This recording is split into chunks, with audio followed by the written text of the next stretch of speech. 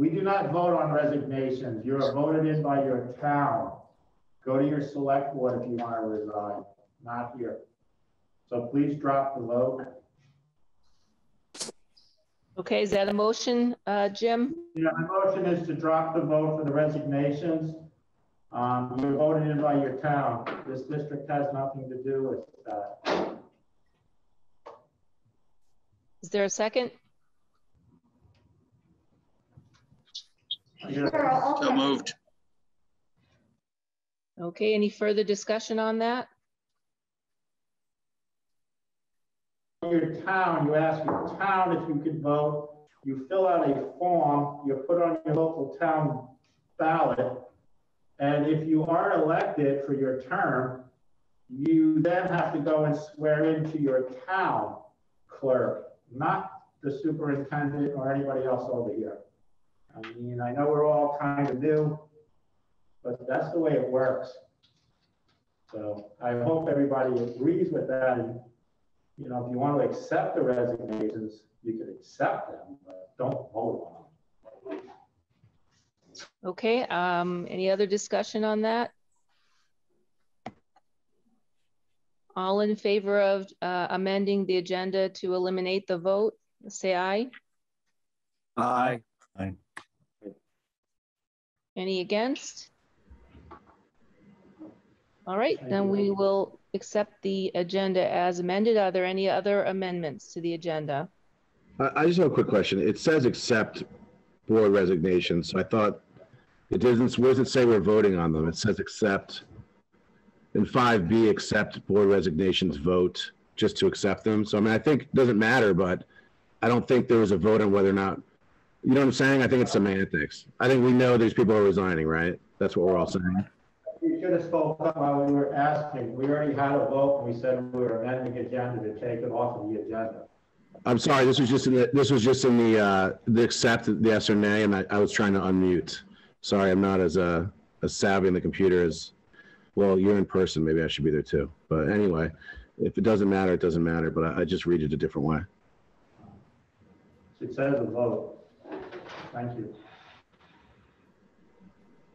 All right, um, so the agenda has passed as amended and we are now have time for public comment or anyone who's attending the meeting to uh, say something, uh, taking about one or two minutes. Uh, and then also please tell us who you are. And if there is somebody who would like to be recognized, um, please put your Zoom hand up, or if you're in the conference room, you can, I can't really see you very well, so you'll just have to speak up. All right, Jamie Ziobro. Hi, everyone. Uh, Jamie Ziobro, I'm parent of a child in third grade at West and fifth grade at TPVS. Um, first, I wanted to thank Sherry, Sousa, and Katie Burke for sharing the COVID vaccination rates by school last week. Um, that was really helpful information to have on hand. And I think, as we all know, we're presently dealing with a substantial surge in COVID cases in our schools and communities. And it was nice to be able to see where each school stands with re- respect to vaccination rates. So, our school district should lead the way for Vermont and require vaccines for all staff. This is crucial in keeping our students and our community safe. Um, to maintain my employment, I had to provide a photo of my CDC vaccination card to my employer, and the school district should do the same. Many local businesses and community organizations have vaccine requirements, as do most of the largest school districts in the country. Um, would it be possible for the district to share the vaccination rates for the staff on a school by school basis, as was done for the student body? This would be helpful information to have for both transparency and awareness for parents. And as if any of us need another reminder at this point, but vaccination remains the number one way to decrease community spread and the severity of illness from COVID 19. Finally, if a decision is made that the staff will not be required to be vaccinated against COVID, then at a minimum, N95, KN95, or KF94 masks should be required for all staff at all times. Unregulated face coverings that may or may not prevent the spread of COVID were wonderful public health strategies at the beginning of the pandemic, but there is now plenty of manufacturing capacity for high filtration masks that are proven to be much more effective at stopping the spread of COVID than cloth face coverings. Thank you. Sherry, I have a question. I thought we were in a school building, how do I know? I think what I hear Jamie saying is the kind of mask that he's asking. Oh, Well, He's also asking about vaccination, right, for okay. staff. Well, We have a, a community member here, uh, Carrie, that's here to speak. Okay, very good. Thank you.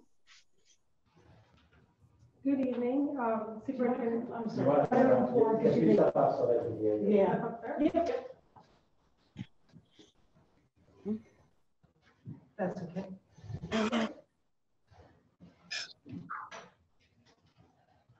My name is Sarah Charlton. I'm a parent here in this district. Um, I have something I've prepared to read so I can be a little more organized. Um, Good evening, Causa, members of the board, community members, and parents. First, I'd like to thank the team here at the school for working so hard to keep our children healthy and learning in school. I recognize and appreciate that there are many contributions that I know go on behind the scenes that are not recognized or properly thanked, including school board. I've served as school board before and thank each of you for your service to our community. I noticed two board members were submitting their resignations tonight and would like to especially thank them for their service. I'd also like to thank Sherry Sousa for putting together a revised proposal for spectators to attend winter sports. I believe this plan that she has proposed in the middle school and high school is well thought out, balanced, and provides a framework for our children to be supported and continues to move forward.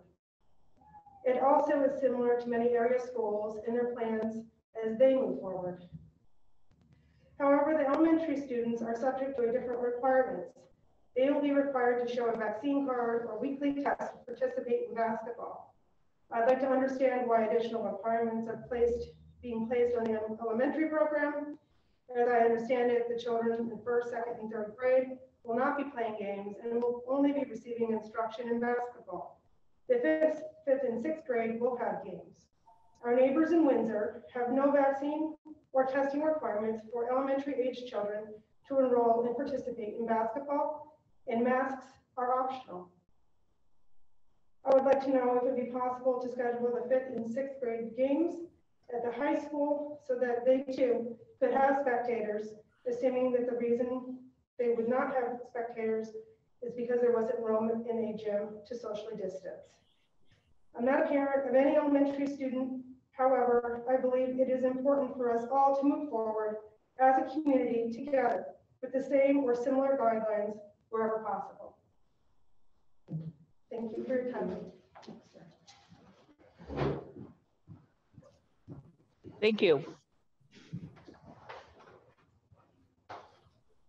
Is there anybody else who would like to speak at this time?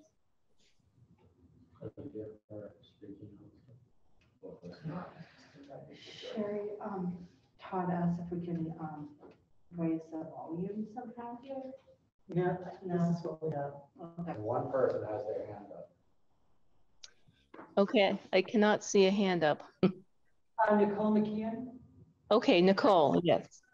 All right, sorry, I, I couldn't get my, my Zoom hand to go up. Um, I, I, um, would like to thank, uh, Sherry, uh, as well as, uh, the, the rest of the folks who worked on revamping the, the winter sports, um, uh, plan for this year. Um, I can tell you that, um, the, the boys varsity parents are, are overwhelmingly pleased with the reasonable um, plan that we hope will be put into place um, as it is safe and, and also meets all of the, um, the, the things that we'd hope for in terms of allowing the students to have the feeling of having spectators and, and, and, and support in the building. Um, and so I, I just like to to really encourage everybody on the board when you do vote next week to please vote um, yes for this proposed plan. Um, the kids are really excited. Um, the parents are excited. I think people in the community will be very happy to know that there will be spectators this year. Um, and, and so I just really want to say thank you um, to everyone who worked on this. Thank you to Sherry for putting together a plan that um, it, it is balanced and, and, and will be very helpful for our, our kids. Um, so it, I, I, I just wanted to express, please, when you vote on the 13th, to please vote yes for this plan. Thanks. Thank you. I also want to um, say thank you to our local legislators who are attending the meeting tonight uh, at the board's invitation. Um, we have a, quite a lot on our agenda, so stay with us. But if any of you would like to say something now would be fine. There's also time at the end of the meeting. May I, Carrie, may I ask a question? It's Alison. Yes, Well, Hi, Alison Clarkson. Uh, I see we have, uh, I'm one of your state senators and we have Alice Nitka and Dick McCormack here as well. I don't see Charlie, but I don't see everybody on the meeting. he so- is, he is here. Oh, great. Hi, Charlie. Um, I would just like to ask if this policy that Sherry's put forward is consistent with the arts audiences as well. When we have music, is this a consistent policy? Because we've heard from the Southwest superintendents this morning that one of the frustrations they have is inconsistent policy coming from the agency of ed. And I'm just wondering if this is consistent. Uh, Just to, can I clarify, Carrie, is that okay? Yes. Yes, the policies all, for all co-curricular activities. So just as athletes have four season passes, No, our test I'm gonna- students can have four invitations to a performance of music, same thing. So it's Right. really, it says winter sports plan, but it is, if you read the depth, it's for co-curricular, all co-curricular activities. And one of the things we heard loud and clear this morning, and Alice and Dick can chime in uh, if they want to add, but we're all going to be uh, chiming in, we are all going to be emailing the governor's office and the secretary of Ed of Ed and his deputy, so Heather, Dan, and Kendall for the governor, uh, to really ask for consistent policy on all ed fronts, where we heard that really very clearly um, and uh, consistent uh, uh, current testing. And, you know, there, my notes are, are here, but they, we are going to all be taking it upon ourselves as a, as a whole bunch of people were on that call to uh, ask for all the things that we heard, uh, heard today. No standardized tests at the end of the year, test to stay, making that a consistent policy. And we're, um, and, uh, the consistency with, with, with all, with masking, with, with all the, the, the policies that are coming from, from, uh, the agency. So I just wanted to say we, and, and if you have anything additional that you'd like us to ask, uh, of these three bodies, the governor and the secretaries, uh, please let us know because we would be open, I'd be open to including those in my email anyway, and I'm sure Dick and Alice feel similar. So that's all. Thank you. As you, as you know, the waiting, I'll, I'll just give you one update because we had a caucus meeting today. The, the, um, the waiting study, which I'm sure many of you are, are waiting for, is having a draft report that you could look on their website. Um, you could look on their website on Wednesday. There'll be a draft report and there will be a full report, uh, available on Friday. They'll be voting as a committee. Uh, that task force will be voting on that this Friday. So- Full vote Not till it goes through the legislative process. No, uh, unclear. It's, uh, it, it's unclear. It gets presented to the legislature. As you know, we have a lot on our plate and we only meet for five months a year. So, you know, everything is, a this is certainly one of our top priorities to look at the, the work of the task force. But I just wanted to give you an update on where they are and where you can find their work. So Alison, you, you heard the first person speak on the public comment and talk about K ninety-five or K ninety-fours. Um, are you going to be speaking to the legislator or to the governor's office about You know, I know sometimes people just think they could just wear a scarf or something or a bandana. So are you asking for a specific type of medical approved mask and not just? I, I wasn't planning on it. I was just planning on asking for consistent masking policy, but I'm happy to add K95s or better. I think what Alison is noting is that every decision has been left with school boards and Yes. superintendents. Mm-hmm. And we're all, we're teachers, Yes, we're school leaders, we're, we're not policy, you know, drivers in this piece. And so I think what, what we're all feeling and, and it's everywhere is that we want a consistent message and we want mm-hmm. consistent Not sure it says. And that's what we're all struggling with. right. And I'm just saying, because I know some people in some places will just put a bandana on, and that might be accepted, and I don't think it should be. I also think that if we do get it that way, we should make the K ninety-four, K ninety-five mask available at the school for those that can't get them or can't afford them. That's all. Yeah. Noted. Thank you, Alison. Carrie, Yes.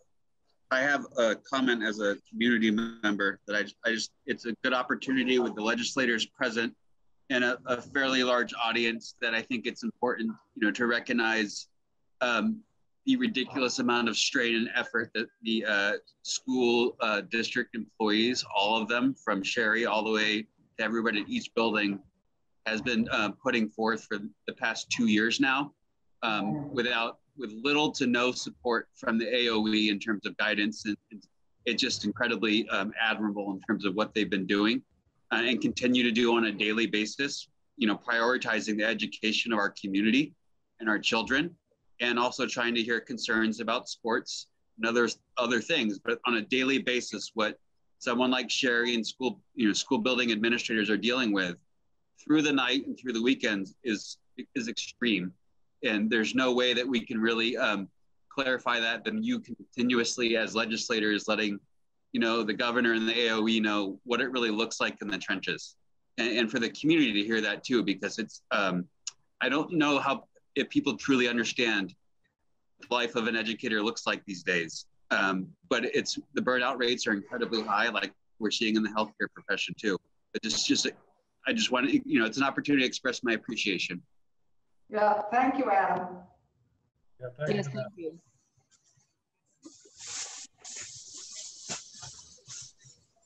Would any of the other legislators like to say a word? You, you have a very long agenda. And Alison has spoken well, so I'll hold my peace. I, I would like to say it's hard to hear the people in the um, conference room, to hear everything they're saying, other than Alison, who may be near the speaker. Um, we did in another meeting here today of many, many of the trials and tribulations that the whole school staff is going through in terms of people resigning, in terms of, um, you know, the dealing with the in school, out of school. Uh, we have a very impressive list, which I'm sure you could put together the exact same list of things that are really difficult and how well staff are doing to cope with them. So thanks.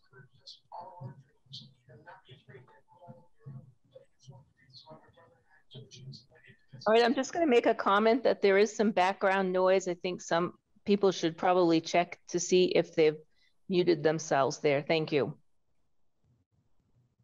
All right, any other members of the public wish to say anything? Carrie, if I may. Go ahead, Charlie. Thank you, Ed. There will be still in the legislative session coming up, the same topics that we discussed with the school board last year. And some of that is going to be, is there any aid for school construction? What is the state of public pensions? Um, those are things that we will be discussing again, and there are large issues um, that we will be grappling with. And we'll come back with information to you as those negotiations proceed and as we know what's coming from the federal government and infrastructure money too. So we have to think about, uh, is there money for school construction in there? Yes, no, how much, how will it be divvied out? So anyway, so I just want to say that it's, it is very much concerned uh, about the health and welfare of our teachers and staff. Uh, absolutely, and yeoman service has been given.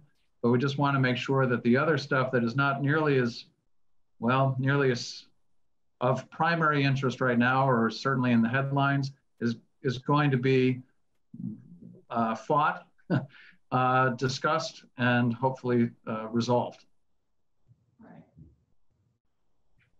Thank you.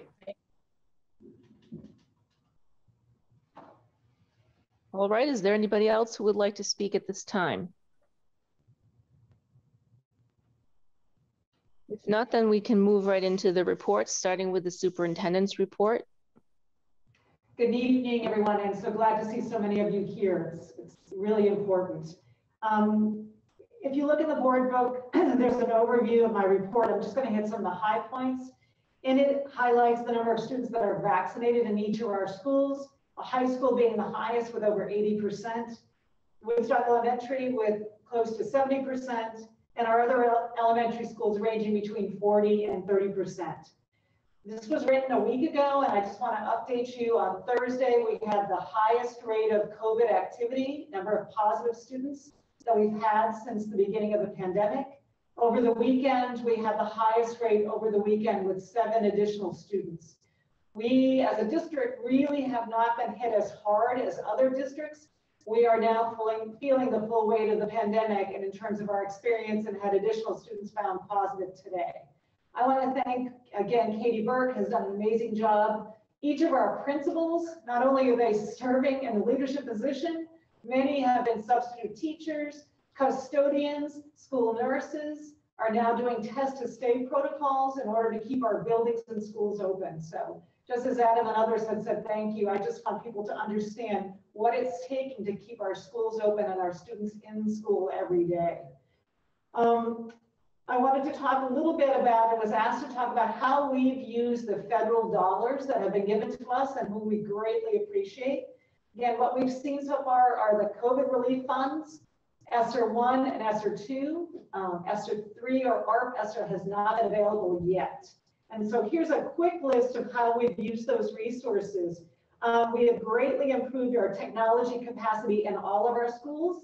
We're now moving into wiring in all our buildings, and Raf can talk much more specifically. These are huge pieces that have taken these kinds of funds to make happen. We were able to offer our summer program, Summer Soak, for free to all students. We were able to purchase new furniture for all of our schools so that we have furniture that can move. Uh, a year and a half ago in the summertime, we didn't have enough desks so that we could have everybody in the classroom in social distance. We now have furniture that we can be proud of and our students can be proud of and can move based upon our needs.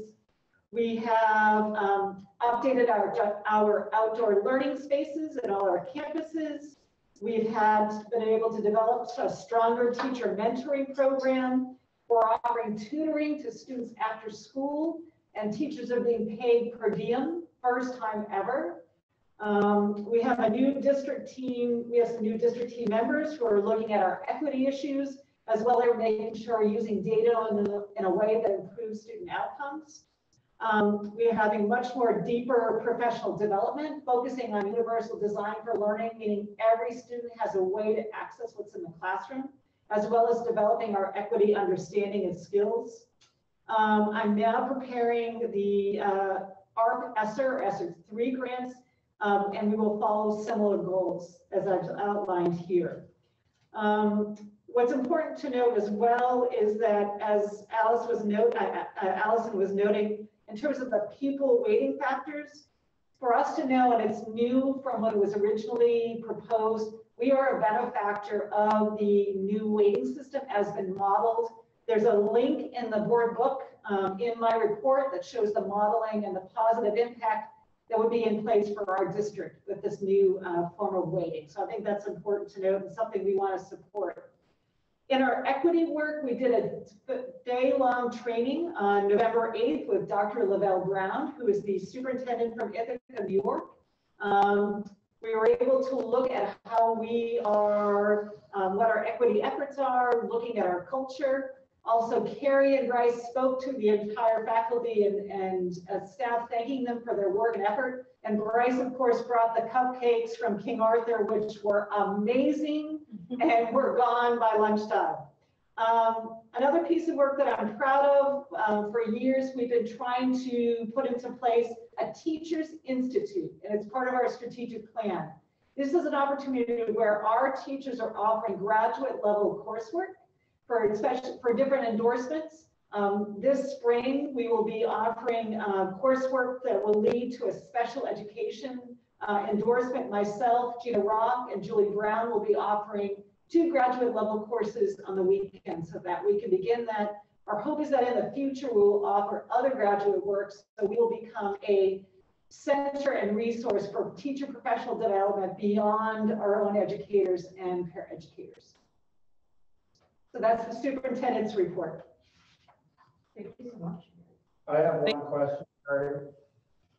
After the percentage in the superintendent's report, the next paragraph, it says at the middle and high schools, more than eighty percent of our students are fully vaccinated. Yes, And it skips down and says that when there is a COVID exposure yes, in the building, we're able to continue school with classes in the building and not have to require students to quarantine.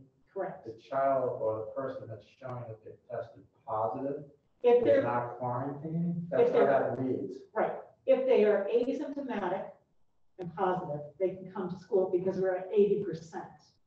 Once you hit that eighty percent benchmark, and that's why we're able to keep the schools. If you are symptomatic and COVID positive, you must quarantine. I'm just asking Yeah. for clarification, Yeah, good. before it goes to, from a draft to a, a minute the next time. Thank you, Jim. All right, That's that's all, important. It's, that's all. and what we all decided. then someone will say, no, this is what you said. Right, and what you need to know, none of us as administrators answer any COVID questions, only Katie Burke.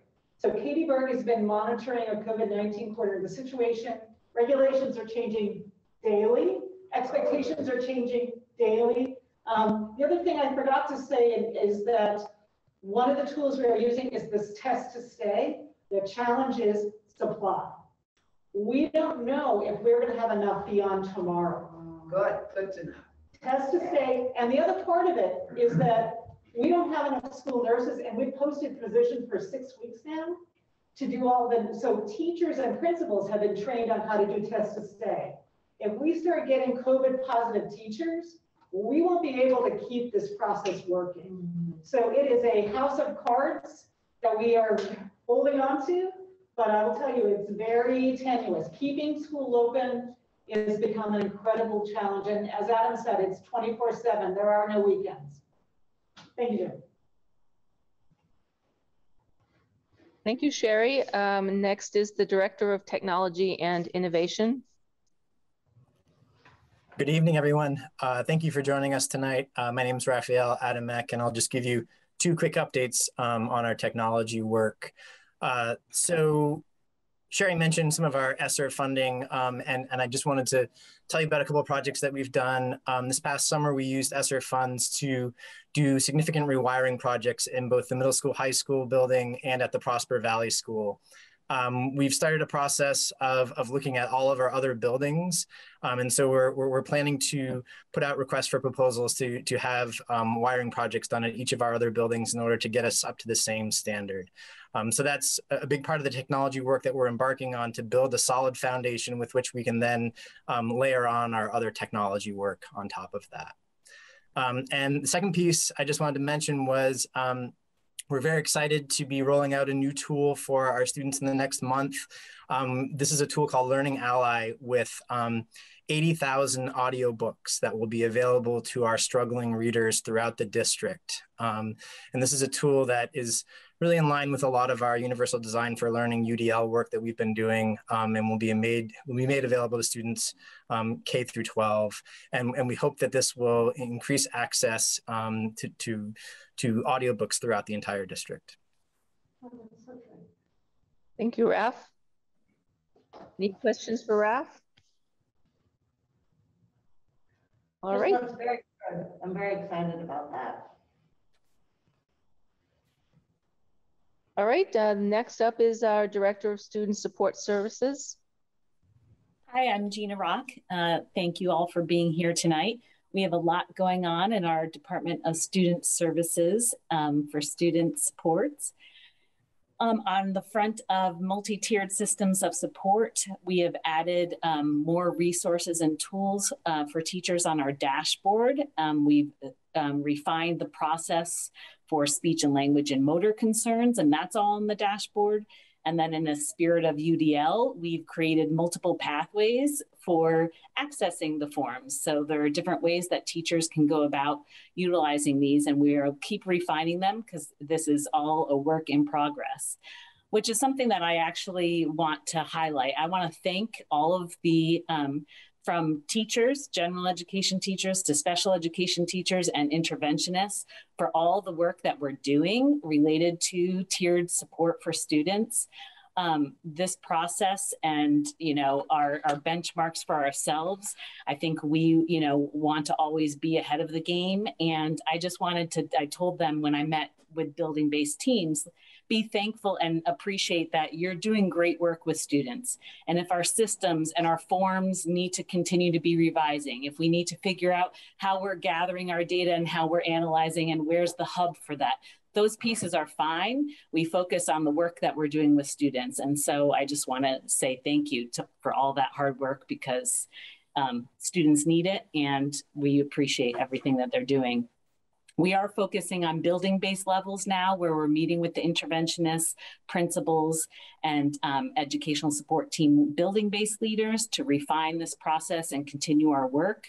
Our late start um, with Katie Novak on November 3rd, um, we got positive feedback on allowing the first 30 minutes. We created a choice board for teachers to choose what they needed to do for themselves to prepare for Katie to come. And some of that was just connection and discussion with colleagues. Uh, and that's a common theme that you'll probably hear um, most educators say that there's not enough time to do all the things. And part of that is how do we work with our, our colleagues? How do we plan and reflect and digest the information? Um, we also are, as Sherry mentioned, using the after school learning program, um, the tutoring program of using our teachers to help support some of the tiered supports that students need as well. Um, in terms of some of our equity and inclusion work, we um, completed our district self-assessment team protocol that Dr. Katie Novak will um, be able to provide us feedback specific to our district and our systems and make recommendations and suggestions for where to go to continue with our work on effective MTSS. Um, in special education, we had our ARP IDEA grant submitted, and the focus of that um, is to really increase our capacity for transportation for students with special needs, as well as decrease our costs around that. Um, and finally, we did our annual um, compliance related to adverse effect training um, that the AOE requires. And I am deep into all the compliance activities that the AOE um, requires submission by January 15th. Thank you for your time tonight, and I'll pass it over to Jen. Thanks, Gina. Hi, everyone. I'm Jen Stainton. I'm Director of Curriculum Instruction and Assessment. Um, and I'm going to start with a professional learning update. Uh, we are in the midst of the second round of teachers signing up for credit bearing professional learning. So, as of this week, we've had over 80 courses accessed by our teachers, totaling over 195 hours worth of learning, which is exceptional. Uh, the fall offering of Julie Brown's Literacy and Justice for All course just finished with 13 district teachers having an awareness of our shift in literacy education towards the science of reading. Uh, just today, a spring offering of the course was released, and actually, we encourage board members to sign up. So please reach out to me if you're interested in taking this course.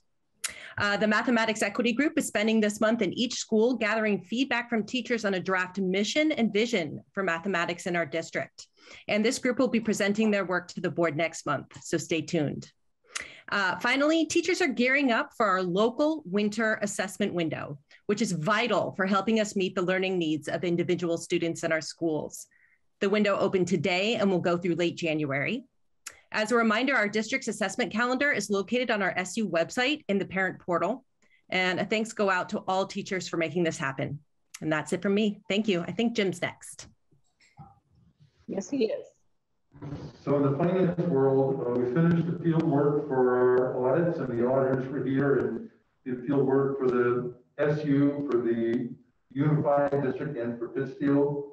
They'll return next week to do what's called federally mandated single audit, act audit, which um, is also known as the A133 um, audit, which is required because we get more than half a million dollars, I think the threshold $750,000 of federal funds now. Um, Finance Committee's been working hard on the budget and later on in the agenda, uh, Ben and I will be presenting uh, a budget draft for you. Um, we also later on in the agenda will be presenting a recommendations for announced tuition rates. Um, the recommended increase is based on a March to March increase in the consumer price index.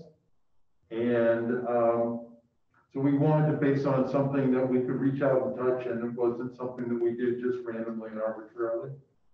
Um, I also included um, a link, I believe, um, a separate document with the year-to-date through October 31st spending. And uh, although I've been away for a couple of days, I haven't heard from anybody, so I'm assuming uh, you didn't have any questions, but please, if you have questions, reach out to me. Uh, moving forward, our projects on our horizon is uh, Joe and I will begin to develop a five-year capital improvements plan for the district. Um, we're continuing to explore migrating to the state recommended e-finance software platform for next year. And we'll begin to migrate our accounts payable process to a more automated process. One of the first steps there is to begin moving many of our vendors from paper checks to ACH payments. And we started that this week uh, by putting a half dozen of our major vendors on ACH, and we'll be adding vendors every week and moving away from uh, paper documents and paper checks. And that's it. I have one question for Raf, if we can go back, Raf. Can you go back to the enrollment um, screen? And the, underneath the percentages, there's the tuition funding source, equals operating school district. That nine forty-nine is as of eleven twenty-nine, I think.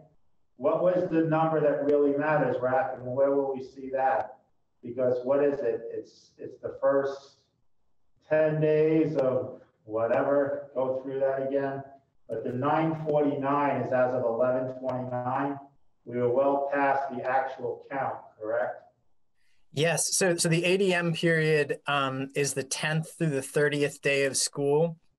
And so that's when um, we submit our reports to the state and, and all the average daily membership is calculated. Um, and so the numbers that you see in these reports are, are a little bit lower than what we would actually have in our officially submitted reports because we have students attending uh, private pre-Ks as well. Um, so, so we should be getting those official um, numbers back from the state, hopefully in the next couple weeks um, to, to get the actual ADM. So when we have another report later on and going in the future years, can we just have an ADM number line also that when we have it? So then finance will know what numbers they're working off of? Yeah, absolutely. I, I think that the, the goal is you know we want to get the official numbers back from the state we can we can predict them and we sort of have put a lot of systems in place to make sure that they're they're accurate but um, until we get those official numbers back we, we don't really know where we stand with them but yes absolutely. Thank you. All right and the last report is from the director of buildings and grounds and i don't think joe is here but he did provide a letter. Joe's here. I, I can give you a quick update. So uh, we finalized our contract with uh, Johnson Controls, and we're going to be starting some of the energy efficient efficiency projects here. Uh, probably the third week of December. We're going to be starting at the high school. Uh, they'll be coming in second shift, and we're going to be uh, starting with uh, LED lights. We'll be changing out all our fluorescent bulbs to LEDs at the high school, and then we'll be making our way throughout the rest of the district. Um, we'll hit the ground running most likely here in the summertime to do a lot of the larger projects, the solar on the roofs, replacing some roofs, things like that. Um, we've also uh, in the process here of finishing up our uh, HVAC work, changing out boilers from oil to propane at Barnard Academy and at Prosper Valley. I hope to have Prosper Valley finished uh, by the end of this week. Uh, There was a delay in the boilers. They were uh, waiting off the coast of California along with everything else. But it looks like uh, we're uh, the final stretch here. And as Jim indicated, uh, in the near future here, we're going to be exploring uh, our five-year capital improvement plans and uh, looking into ESSER funding, um, how we can spend it and how we can use it on our buildings. And just to tag on to uh, Sherry's report, we did use about $400,000 worth of ESSER money to improve the HVAC systems in the school, uh, multiple schools here last year. And that's about all I have. All right, any questions? All right, I'd like to ask if there is a student report tonight. So Owen is here. I'm also here. Um, I don't have much to report. I am interested in talking a little bit about uh, things to do with the money that we're going to be receiving.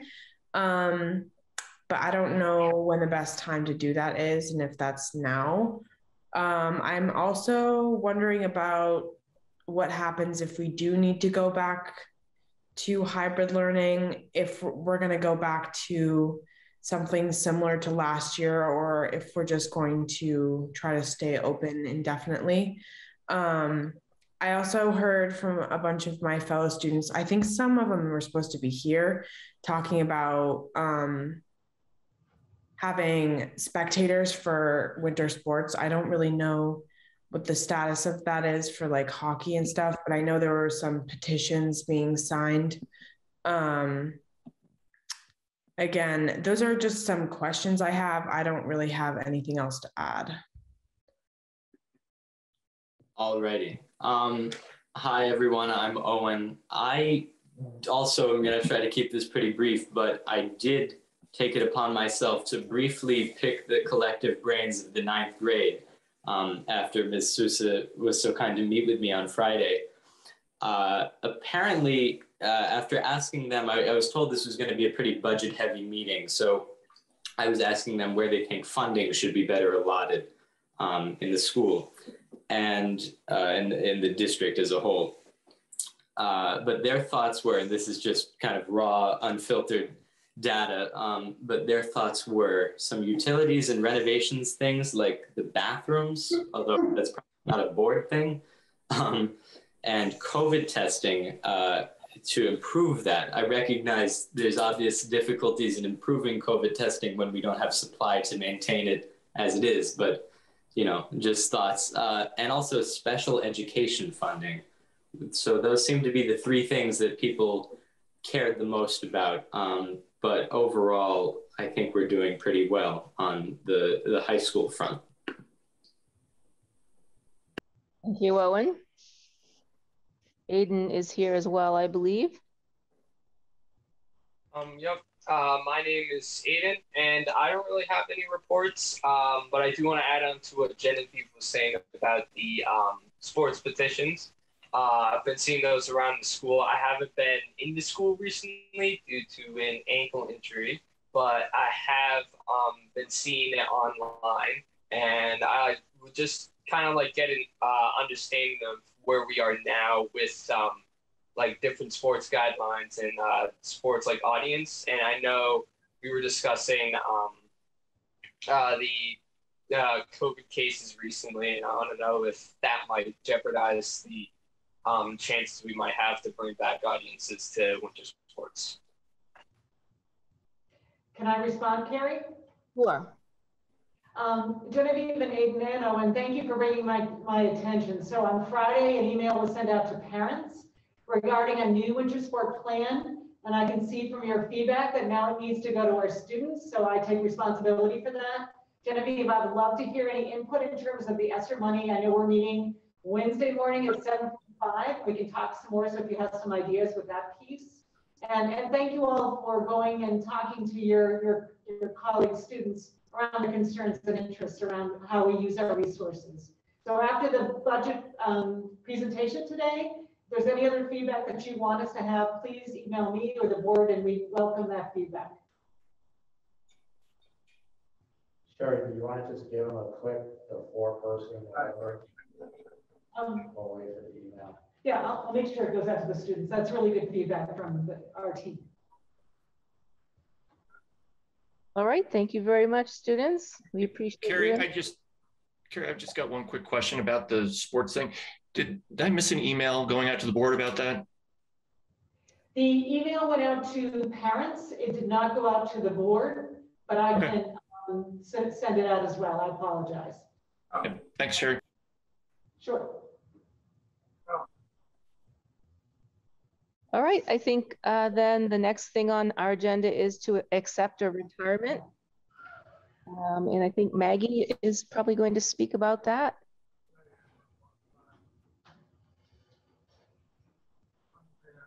Sure. So um, sadly, uh, happily for her, I think, but sadly for us, um, Peggy Ogilvy, who has been a music teacher at Woodstock Elementary for 16 years and just started um, teaching at RES at Reading Elementary as well this year, uh, will be retiring at the end of this school year. I've known Peggy for seven of those um, 16 years. I've worked with her here at Wes, and she's a cornerstone of so many of our school traditions, from leading songs at our assemblies, um, the maypole uh, celebration every year on our playground with the maypole dance and the sword dance. Um, she uh, is known for our holiday concerts. She's collaborated with other music teachers to bring the band showcase to the district.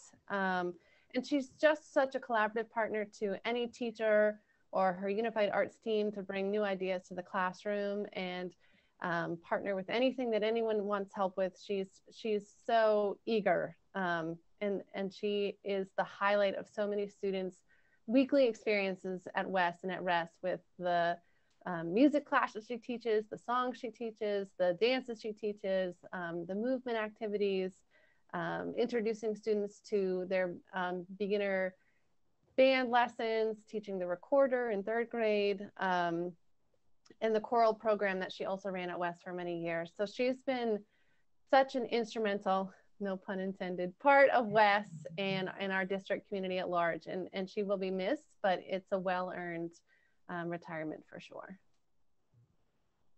I make a motion to accept her resignation. A second. If there's anyone saying no, you can say it now. Okay, we accept her resignation with regret, I believe. As well, we have um, two board resignations. We've received letters from both uh, Louis Piccone and Claire Drabitko to um, longer serving folks who worked through some of the roughest patches of the merger and um, Lou on policy and Claire on policy as well.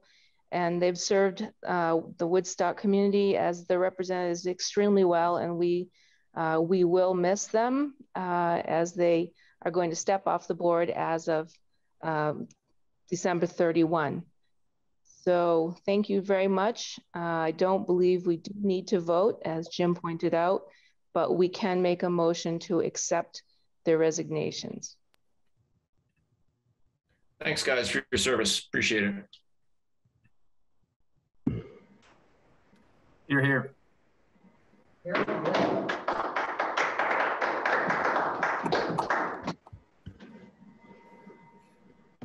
All right, so any Woodstock folks on this call, the, the seats are open and you can uh, go to the town clerk and find out what you need to do in order to get on the ballot for, well, to be appointed now, but also to, to run again in March. So thank you, thank you both really um, for all the work that you've done. And Clara's, Clara is right after this meeting, not the thirty-first. Okay. Right, sorry. I'm, I'm trying to use my phone as my guide here. it's very small print. All right, we are going to hear now um, a presentation from Maggie and Aaron um, on stewardship strategy. Sure. Rena, do I have the ability to share my screen?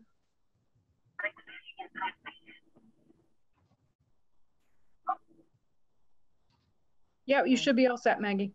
Okay, thank you. All right. Maggie, can you turn your volume up? We can turn it up here. Oh, for my, okay. We got you. Is that showing the WCSU stewardship survey results? Yes. Yes. Perfect.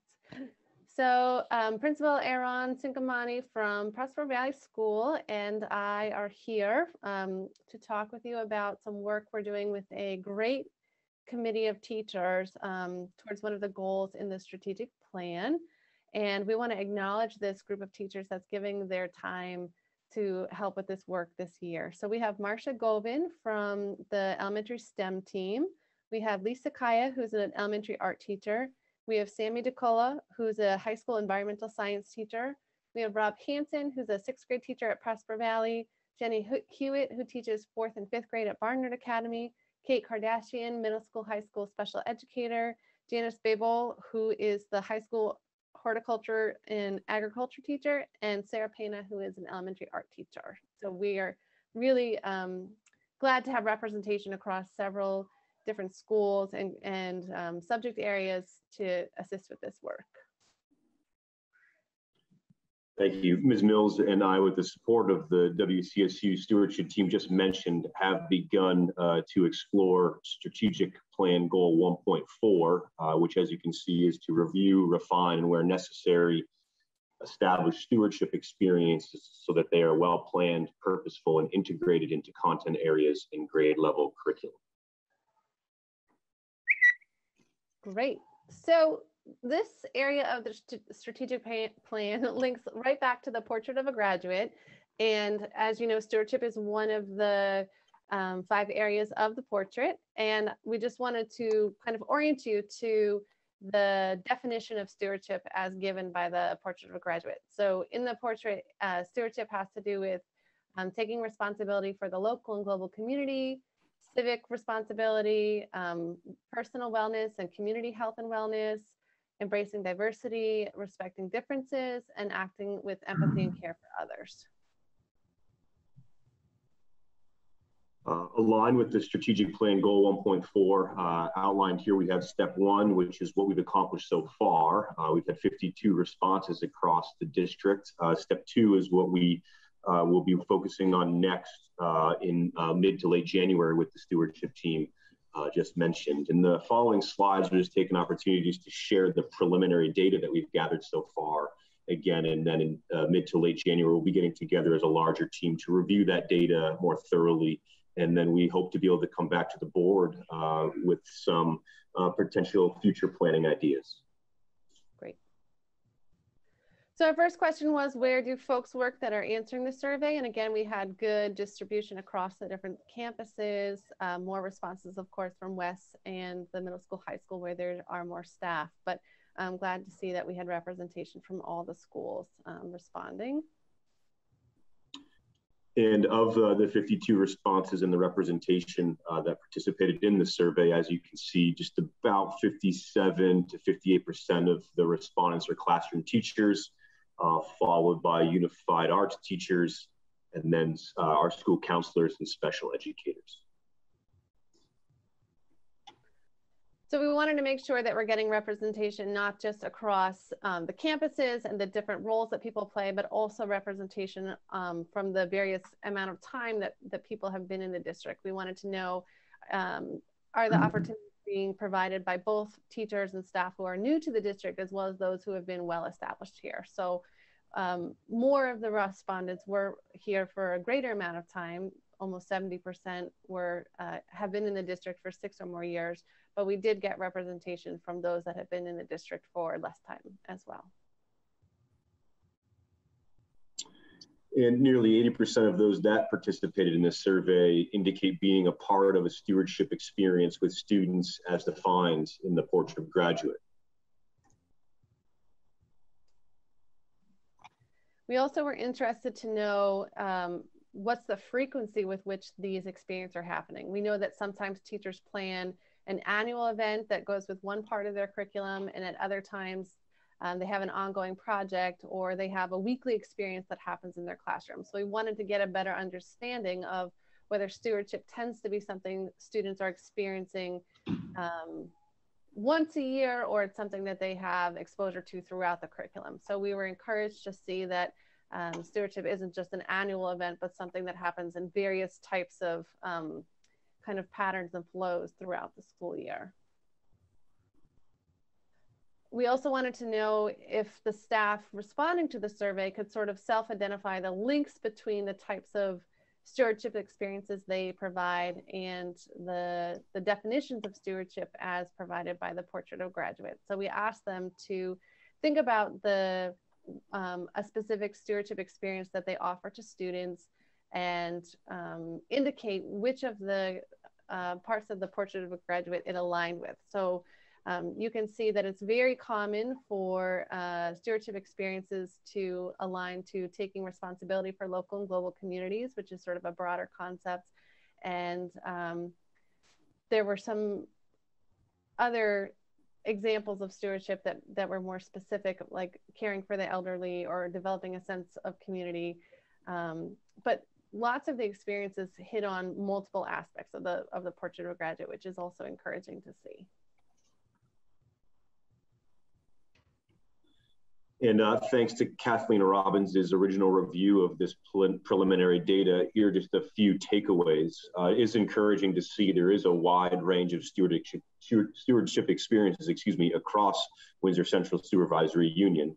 Uh, and definitions of stewardship and the diversity of those experiences across the district will require uh, further analysis as we work to more clearly define stewardship in our district uh, per uh, the strategic plan goal 1.4. Uh, Any questions for uh, Maggie and Aaron?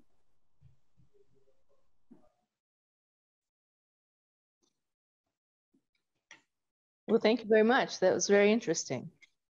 Thank you. Thank you. All right. Uh, the All next right. we're going to do is take a look at the school calendar and approve it. So you will see a draft calendar in front of you. Um, what is unique about this calendar is how closely I've worked with superintendents in other districts in the region um, to make sure that our, our calendars are aligned. Um, this is helpful in that many of our parents live in other districts and their children are, are attending different schools, as well as making sure that we're aligned closer uh, to Hartford Area Tech Center um, this year, uh, Tech Center started much earlier than we did, and so Tom DeBalzi has been a great partner in getting us more closely aligned. So our students who attend Hartford Tech Center really are within the same schedule as uh, the other you know, students who are not attending. Um, you'll also say, I'll bring to your attention that we've added Indigenous Peoples Day in October. Um, it was noted, especially this year, that that was a long period of time to go from Labor Day to um, Veterans Day, and with Veterans Day really being kind of respite from parent-teacher conferences, um, not only did it give us an opportunity to respect the day, Indigenous Peoples Day, but also to make sure that we had a, a short break uh, in the October period. Um, you'll see some changing in terms of February vacation is about, it looks like a week later Again, that's to align with other districts while the April break is pretty consistent with what we've had. And we are also continuing to ask for our late start days. Those two hours of professional development have really been a pivotal opportunity to move some of our work forward without adding uh, additional responsibilities onto our teachers. So those are the highlights of the new calendar. Motion to approve the 22-23 school year calendar. Seconded. I have a question, sir. Uh, Are the two-hour delays the same amount as we have had this, this Yes, year? yes, it's totally in line with our current model. Okay, thank you. Any other questions? Move the question. All in favor? Say aye. Aye. Aye. Can I make a comment? That is the fastest that we've ever approved a calendar in my 20 years of being in the district. So thank you. You took care of all the other issues the other years. Oh my gosh. Thank you. I am blown. Thank you for adding Indigenous People Day. You're welcome. That was, um, that, you were right, it was a long. space to not have to worry. Oh, we did it as a state two years, three years ago. Right. Get a lot of that, the state was faster than us.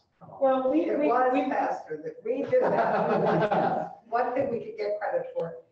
But um, one thing we someday will hopefully have is a unified state calendar. That would be nice.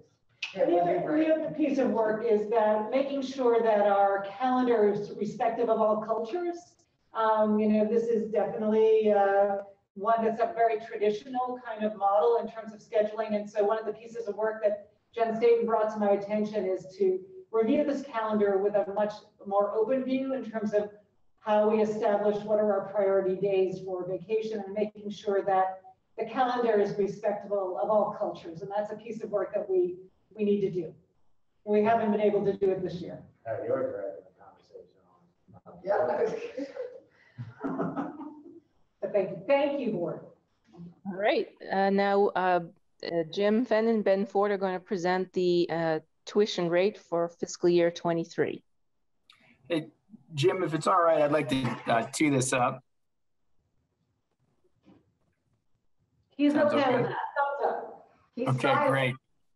Yeah, so uh, the next couple of topics on on the agenda are the um, are the uh, finance topics that uh, our student representatives said that this meeting would be uh, kind of heavily balanced or heavily weighted towards. This first one is going to be a little bit of a, of a, dip of a toe into finance topics. Uh, relatively early in the process of decision making for finance each year, we need to set the tuition rates. And board members who are around um, last year may recall that we spent quite a bit of time on this one actually in the, the budget process because it got a little bit contentious on the elementary school rates.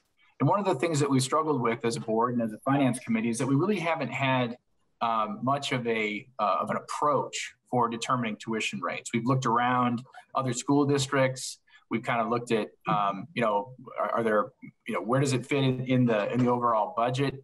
Um, but uh, this year, uh, kind of backing up to last year, we didn't change the tuition rates last year. And um, as a result, uh, you know, we feel that this year we're probably in a position where we we can move them. Well, how much though, right? Um, I'm about ready to drown everybody here with a ton of details on how Vermont uh, finance works. But I think the thing that we can, you- you're going to see emerge from a lot of details is that generally there's like a cost of living that increases. There's inflationary factors, and that every year, um, you know, dollars kind of move uh, upward, right? Um, so to capture that, our finance director this year came up with a very elegant and simple solution that the finance committee thought was great. And that was uh, essentially to uh, peg our tuition rates to the consumer price index. And I guess, Jim, would you like to elaborate kind of on your thinking there? Sure, the consumer price index is a national measure of what, uh, how prices have increased over a year. And it, although it's totally unrelated to how our cost of operations, it's a national index that anybody can look at. Um, here we have a couple things that are driven by a March to March um, index comparison. So we said, let's do the tuition the same way so that we're tying all of our indexes together to the same factors. And this year we did. Uh, the March to March increase was 2.6 something percent. And we went with that, we rounded up to the nearest $5 and came up with the, um, the values that you see in the uh, board book. I'm gonna make a motion to set the FY twenty-three announced tuition rates. Elementary at sixteen thousand four twenty-five, high school at eighteen thousand nine eighty-five. Anyone second it? Second.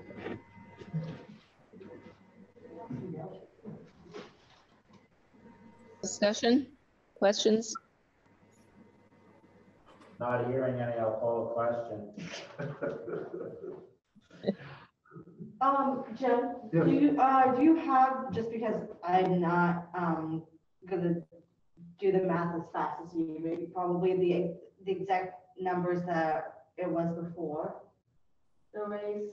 This, this, this year is 16,000 elementary Okay, and 18,500 at the high school. got it, thank you. I'll still call a question. All those in favor of uh, approving these tuition rates, please say aye. Aye. Aye. Aye. All right, and then uh, now we can sit back while you take us through the, the budget presentation. Yeah, uh, so this next one um, hopefully will be a little quicker than maybe anybody here would have feared. Recognizing that we've got a lot of new board members who weren't part of the process this year, uh, we thought it would be a good idea to just take um, maybe five to 10 minutes to do an overview. Um, hold on, let me share my screen so that we can see this uh, presentation deck got here. Um, five or 10 minutes to, um, to um, kind of go over some of the, can everybody see my, my, uh, my, my screen? Okay, to do some ABCs, right? Um, how, how, does uh, education finance uh, in Vermont work? I think a lot of board members are here, um, you know, very closely attuned to the tax rates, and we're going to show you tonight um, really how those get calculated and, and what we're looking at for FY23. Um, that is the the, the next uh, budget year that we're that we're in the middle of uh, planning. Um, we're going to take a look at some of the the um, the factors and the things we have to make assumptions about, kind of the big ticket items in our budget, uh, and what we know about them at this point. And then uh, we're going to talk about some of the things that we see as uh, meaningful as a board and as a, uh, the administration that we could potentially choose to spend money on differently than we, we spent last year. Um, things to add into the budget to affect some outcomes. Um, the next thing we'll we'll look at is some some forecasts uh, to say, okay, based on some assumptions that we've made here, let's look at some ranges in terms of how these numbers could land, and then we're going to uh, come down to based on all the information that we have right now, what is the what are the tax rates looking like, um, you know, as of today's date, and then uh, the last thing we'll see is the, the next steps for the budget vote. Now, um, before we jump into this, um, I guess what I I, I want to first say that this this tends to be pretty dry. So feel free to interrupt me if you've got a question on uh, some of these some of these topics to say that doesn't make any sense to me, and I'll do my best to, to kind of break it down so that we can all have our uh, our heads around it and, and go in with a common level of understanding before we uh, we make decisions. Um, I guess contrary to what the the agenda says tonight, we're not going to take any any votes other than what we've already voted on for the tuition. Last year, our, our final uh, budget vote was around January 4, and there's just a lot of pieces that we don't have in place yet in terms of knowing uh, what those um, kind of big key factor numbers are uh, to be able to, to make a final budget vote. So uh, with no further ado, I'm, I'm hoping to, to keep this presentation to about 10, 15 minutes so that nobody goes to, to sleep on us. But uh, let's take a look at some of these basic concepts. And a lot of these are, are terms that are defined in uh, Vermont law, right? And that's how we, we, we, that's why we're using these words that some, uh, these phrases that some of them are kind of a mouthful. So education spending is a, is a big um, uh, concept, right? And that's essentially um, what you need to raise from the taxpayers. You take your budget each year, and uh, Jim Fenn, our, our, finance director, has already uh, created our budget. We have a, a, good idea of what it is that we uh, are looking to spend for FY23. And then there are some revenue sources that uh, come out of that that you don't have to raise from the taxpayers, grant funding, things like um, those tuition uh, amounts that we, we get from the you know approximately 100 or so kids who who um, you know choose our town uh, to go to school that's not money that we have to collect from the taxpayers because there's another you know town outside of our district who's who's paying those tuition amounts and it, and it reduces the amount that we have to collect from our taxpayers. Um, but there's a number of things that go into those revenue amounts. Education spending just to keep in mind that's what we have to raise from our taxpayers uh, for voters in the district. You take that education spending number and you divide it by the number of equalized pupils you have. Now what's an equalized pupil essentially the, the state says not every student uh, counts the same. Your preschoolers count about 0.5, 0.46.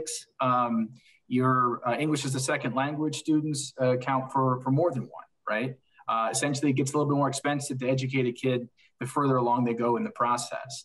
So there's a formula that the uh, that uh, RAF on our staff um, works with Jim to to execute, And we've got a pretty good idea of how many uh, equalized pupils we have for budgetary purposes at this point, but we won't have the final number probably for another couple weeks, like Raph had indicated.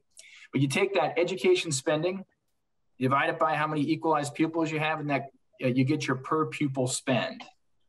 Per pupil spend is an important number because the state says you have you, you you're limited in it. There's consequences if you go over it. Um, but if you if you um, take that per pupil spend, divide it by what we call the the yield amount, that gets your tax rate. And then uh, what I'd said uh, earlier about uh, the per pupil spend, there is a, a, threshold that the state says you need to stay under, and they publish that each year. And if you go over it, you're into penalty phase. Now, one of the interesting things about the pandemic and what it's brought, and there's a lot, there's a lot of volatility, is that uh, last year and this year, the state has essentially said that, that they're not imposing uh, any any uh, penalties for penalty phase.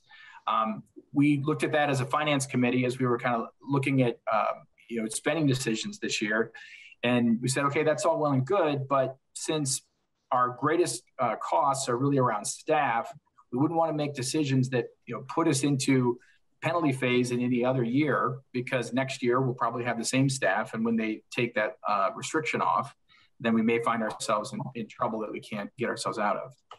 Um, the yield is is pretty a pretty significant concept.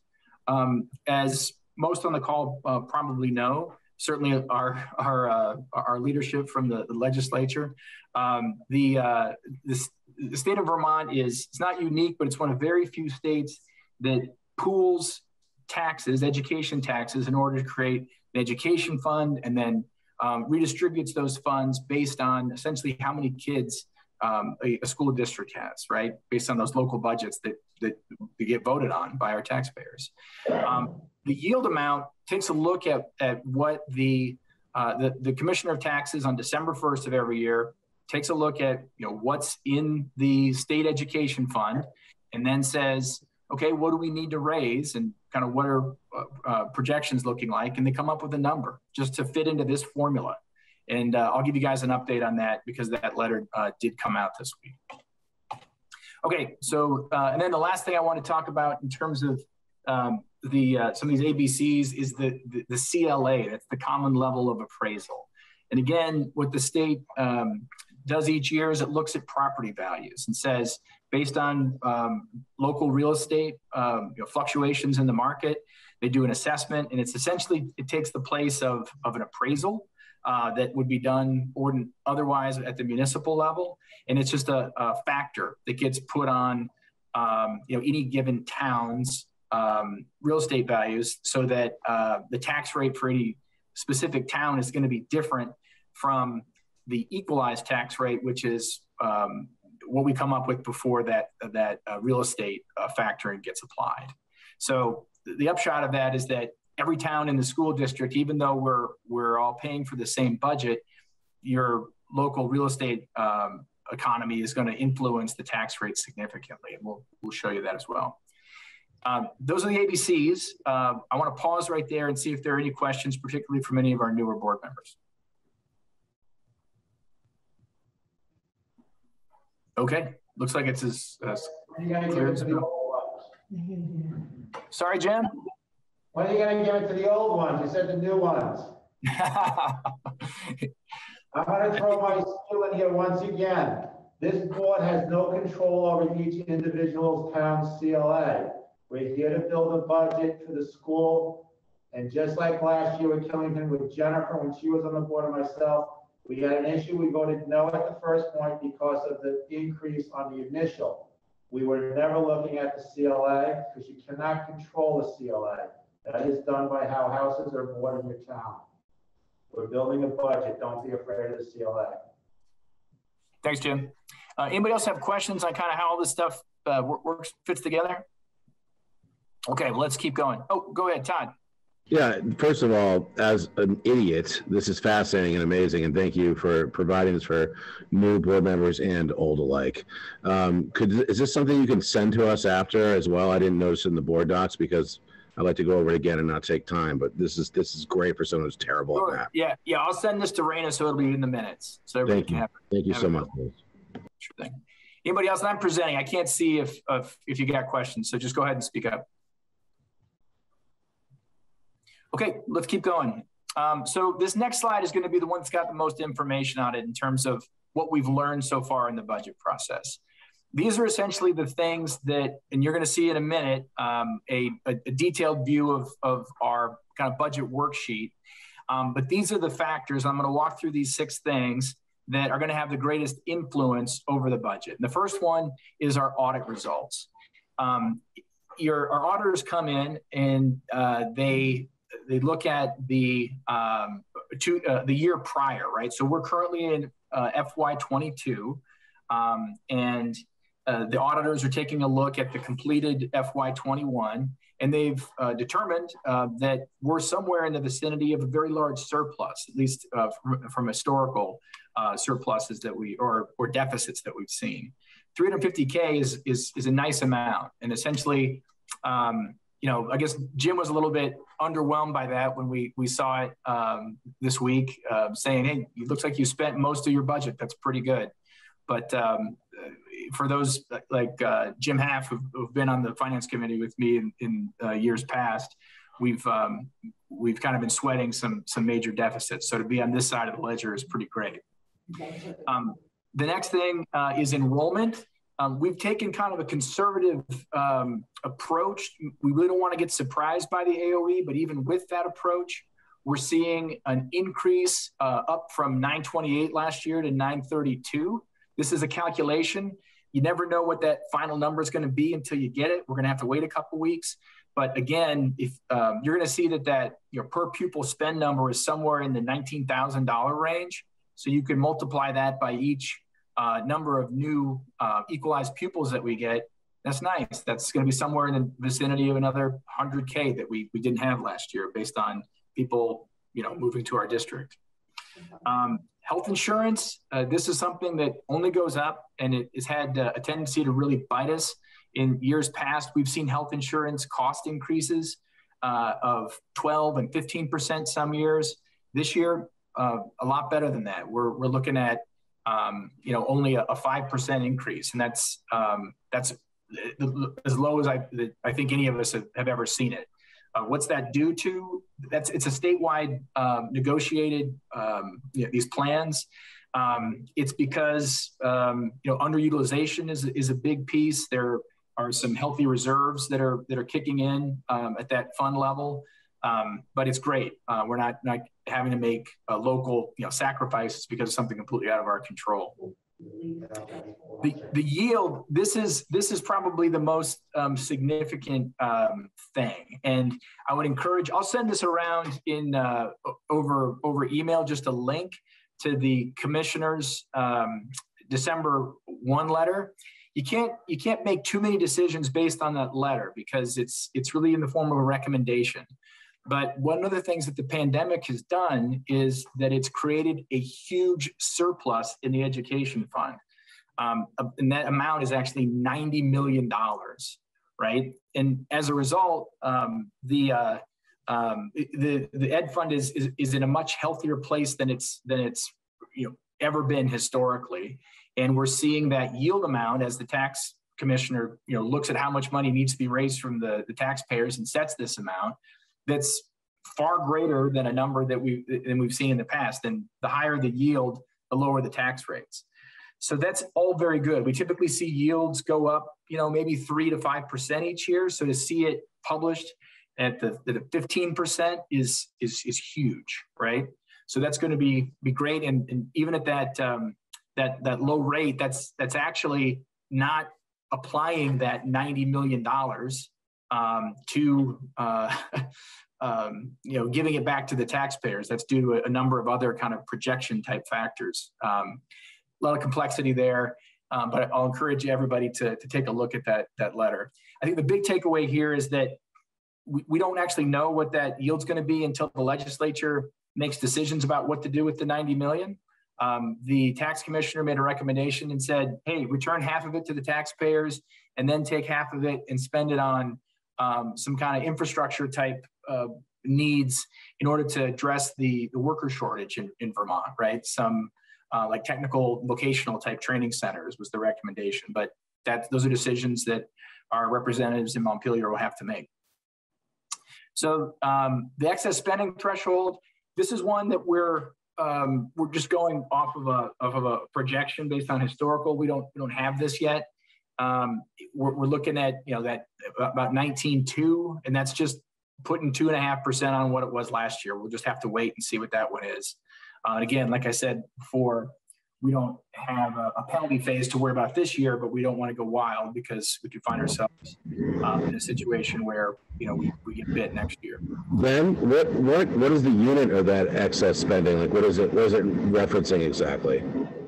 Right, can you can you back up from your computer, Todd, and ask that again? Your your mic went. went sure. Uh, what's the unit of the excess spending? What is it? What is it referencing? The excess spending threshold. It's a dollar figure, right? So if you go back to um, the, uh, uh, it's essentially if, if you get into the um, uh, excess spending threshold, that's what puts you into to penalty phase. And for every dollar, so essentially you, are going to look at your per pupil spend, and if you're over that um, that excess spending threshold, the difference um, for every dollar uh, that you that you put in your budget, you have to send two to Montpelier. That's what the penalty phase is, right? So uh, that's something that we have, as a finance committee, we've always said stay out of penalty phase because that's not justifiable to our taxpayers to run our budgets like that. That answer your question? Yeah, thanks. Wow, thank you. Okay, and then the last one, Jim, I know you said that um, you know, we shouldn't worry about the CLA. I think that's great coaching because it is absolutely out of our control, but we do expect it to be uh, pretty massive this year. In fact, I think that's something that the legislature is probably going to have to make some decisions about as they look at that $90 million and how much to apply uh, to the education um, fund. Because uh, as we all know, real estate values just have gone wild in, in the last year with the pandemic and so much demand in housing across the state.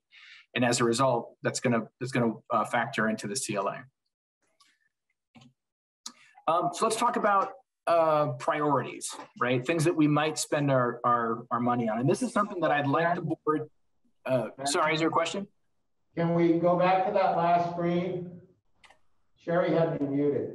So number six, while we have our legislators here, I would like an explanation on number six that running a town as a select board member we have our grand list and then we work our budget. And then our grand list gets divided into the budget, which gives us our tax rate.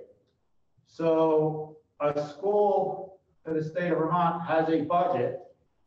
If across the state, the properties are selling for more and the CLA is going to come down, that means your grand list is growing. So there should be a savings because this is not like normal where five years ago, 10 years ago, that individual towns CLAs came down. This, this phenomenon is happening across the state. So, well, overall, I would think that the CLA is going to come down overall in the state. And I'm hoping you guys are looking at this and saying, or at least arguing for us and others in the state, that you have a grand list based off of the CLA and you have X price for your full budget. The number that we have to raise should come down and then the equalized, uh, the yield should also bring that down. Alison is shaking her head so she gets it. I Having worked on ways and means if I. Yeah. Um, yeah, I, I, none of us in your, of the legislators here serve on education. And obviously that will, if that and Ways and Means will be addressing this, I think, pretty. Okay. Um, Charlie, did you guys have anything from, did you discuss this at all on Saturday? No, uh, we'll be having that meeting on Wednesday, but I'm just thinking that your logic, I, I think your logic, uh, Jim, is accurate if everyone experienced the same percentage increase in their property values and the CLA, CLA could not adjust the tax rate significantly, right? Right, or if everybody has come down even, the average should.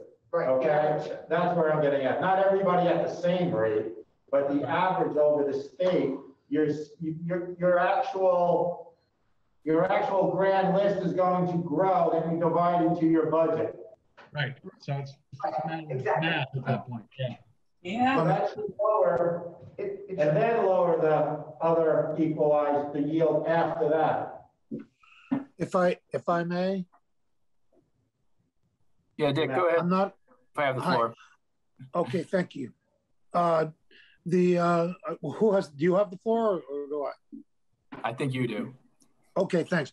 Yeah, the, um, as the grand list grows, the rates should go down, but the amount of tax you're paying, the burden, the tax burden is, is based on your school budget rather than, than on the rate. So, uh, because it's, it's a lower rate on a, on a more highly valued property. So what you're, Yeah, in I terms of. get the- that. Oh, all right, okay. What we had said already, sir, is that this, when I was the chair of finance, we did not go after the CLA. I am talking prior to the CLA, that the tax rate should come down based on, number one, that everyone's, the value of property in the state of Vermont has seen an increase. So your grand list of the whole state of Vermont, not individuals, should take down the base rate of the education tax. Yes. And When you add the yield in, should take it down that other 11 cents of 22. I'm just putting in my thoughts, that's all. No, I'm sure you were. I, I'm, I'm just responding to that. Okay. And I guess I've already done that. So. Thank you. Thanks, Dick. And uh, there's going to be a whole presentation. Charlie referred to joint fiscal uh, office. We're all, we have sort of boot up on Wednesday for the legislature. And so uh, all these fiscal issues will be being addressed. Um, All the various funds will be being addressed on Wednesday. So if people are interested, they can watch it. We'll let Charlie handle it. Great, thanks, Alison. The rest of us will all be there. Let's um let's keep going here because we got some some things I really want the the board to to uh, kind of get an impression of as we are within a couple weeks of of uh, voting on these topics. And I have a brownie with ice cream. Can I have that? Okay, Ray, go on mute. He's not Which talking. that? That'd be, be great. Um, so these are five five positions in the. Um, uh, then we're gonna you're gonna see how these slot into the budget on the on the expense side that we've considered. Uh, that have been brought to the finance committee as things that we could do to kind of improve the educational experience uh, in the district. And um, I don't know, uh, Jim, Sherry, could I turn this uh, over to you guys to a give these everybody a, a break from my voice, and b you've got some more insight on what these positions are about. So the first priority, as, as many of you know, that we've increased one pre-K at Woodstock Elementary School. Um, that has put a lot of demand for these little people. And so what we've noticed in order to meet our contractual obligations to our pre-K teachers and pre-K paras, the request has been made for an additional pre-K para. Cover nap time, cover lunch duty, cover teacher uh, planning time. Um, number two on that list is, um, as many will remember, a few years back, we needed to, we decided to, um, to cut the K-1-2 world language program or Spanish teacher position. Um, it has been a goal of the board as well as the uh, administration to return that position. And so that is the cost to bring back pre-K in, uh, you know, K-1-2 Spanish in all of our elementary schools. Um, it has been brought to us by our current uh, librarians. Again, another position that when we were experienced reductions in student population and um, in our ability to, to fund our programs that we did not fill a library elementary position. And so there's a request for elementary library position. Um, one of the goals of the strategic plan is to increase our international program uh, a current world language teacher, Colleen O'Connell at the high school, and Gabriella Durgan, who is our department chair for counseling, have been leading this work and again have, have brought it to places that, uh, for example, no other public school in the United States is currently doing. We have a program where we're having uh, communications regularly with uh, Middle Eastern students speaking French. Um, and so they enrolled us in that program and done the training for that. However, meeting their own regular positions and doing that work and growing that program would require an additional 0.5 FTE. And then another piece, and I'll let Jim speak to this, is around a grant writer position for 0.5. One of the things that we'd like to see is a grant writer position and um, a grant writer position should pay for itself annually. And so really what, when we add this position, we'll need to fund it in the first year in order to get, give the, the person that we hire the opportunity to get grants processing. By the end of the first year, they either need to be covering their costs or we need to find somebody else because they should be able to bring enough grants annually to cover the costs of their position. Uh, but in the first year, you just need to fund it in order to give them opportunity to get the feet on the ground and, and write some grants. Is there, uh, can I ask a question? Is there a percentage that we would also expect that they bring in to this, like, do they cover their costs, but we're also expecting like this amount of, uh, money that's being brought in grants to the, to, um, to the budget as well? Like, is there a percent, is that a percentage that you would expect from them? The position as I envision it is one to go after mostly federal grants, uh, but other private grants and other grants like that. Um, I've experienced getting a one point two million dollar Russ grant. I've experienced getting a Bill Gates grant. I've experienced those types of things that grant writers have done for us.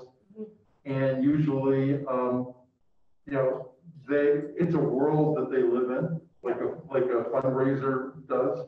A world I know very little about, but I've seen very successful grant writers bring in anywhere from half a million to several million dollars a year. One of the things we'll experience here though, is generally, it needs to add, we can't supplant what's already in our budget with grants. So this isn't to reduce tax funding for annually budgeted items like payroll. Uh-huh. It's more to supplement than supplant.